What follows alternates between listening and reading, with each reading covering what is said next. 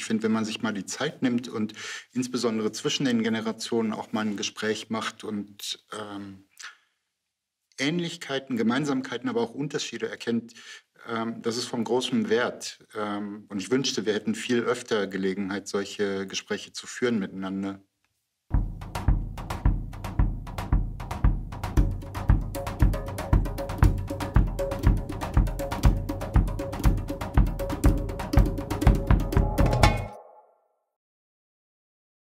Habe gemerkt, dass ich mit einer der Jüngsten in der Runde bin und ich glaube, es ist wichtig, dass alle Stimmen gehört werden, von der ersten bis zur dritten Generation, die hier leben. Man sollte sich nicht nur auf eine Seite versteifen, sondern auch darauf, was, ähm, was gut gelaufen ist und äh, inwiefern wir für die Zukunft besser arbeiten können.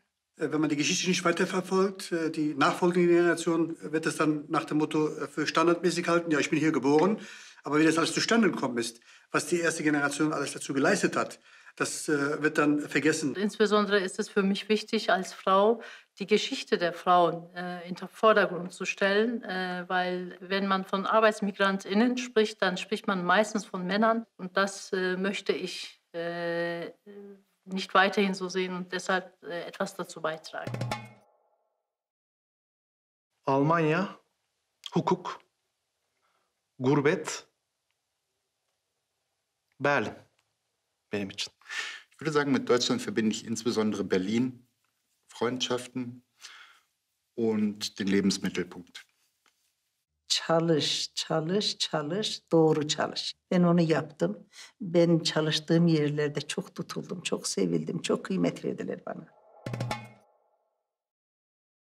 Mehr Verwandtschaft, İstanbul. Çocukluğum. Dünyanın en güzel ülkesi. Dünyanın en kötü yönetilen ülkesi. Dass äh, die Vielfalt äh, kein Problem, sondern eher eine äh, Chance für die ganze Gesellschaft darstellt. Menschen mit Zuwanderungsgeschichte nicht auf Dauer Menschen mit Zuwanderungsgeschichte bleiben, sondern irgendwann mal Einheimische werden. Und äh, die Zeit, die wir das anerkennen, äh, nicht morgen sein soll, sondern heute. Die Frage, ob mich Deutschland was gelehrt hat, ist eine doofe Frage, weil Deutschland ähm, natürlich nicht eine Lehrerin ist oder ein Lehrer und ich ähm, nicht zum Lernen hier bin. Ähm, ich habe in Deutschland von vielen, vielen Leuten was gelernt. Und ich würde sagen, ich, ich denke jetzt an ein paar konkrete Personen, ich habe gelernt, äh, viel zu lachen und mir das nicht wegnehmen zu lassen.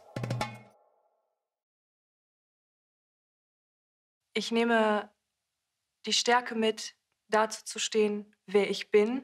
Auf der anderen Seite ähm, glücklich zu sein, glaube ich, glücklich zu sein mit, ähm, mit der Vielfalt, die wir haben. Wenn ich die Zelte hier abbrechen würde, würde ich wahrscheinlich tatsächlich nur ein paar Bücher und einen Computer mitnehmen oder so und alles andere hier lassen. Ich bin, ich habe keine ganz besonderen Bindungen an die Gegenstände sonst, die ich habe.